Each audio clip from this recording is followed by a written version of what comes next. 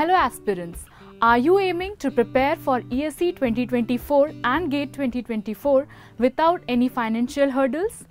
Then MadeEasy has come up with the National Scholarship Test for classroom and live online courses to inspire and support the talented students to chase their dream career by getting up to 100% scholarship.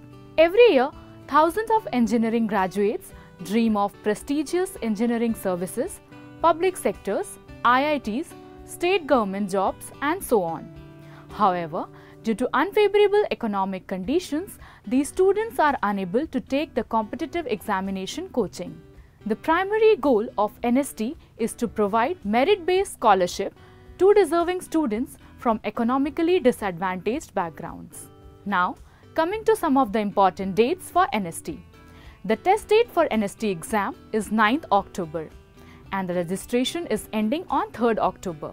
Now, let's discuss some of the test features.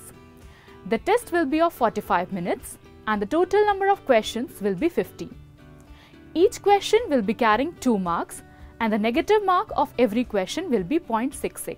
Some features for NST. The scholarship will not be applicable on postal courses, test series and any other short-term classroom courses. Both ex-MadeEasy student and non-MadeEasy students can appear for NST. The total number of scholars are subject to stream-wise center-wise cutoffs and the basis of total registration and other parameters.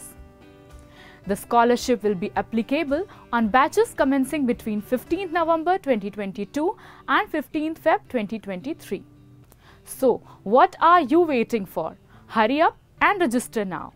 For more details, visit www.nst.madeeasy.in or call our helpline number.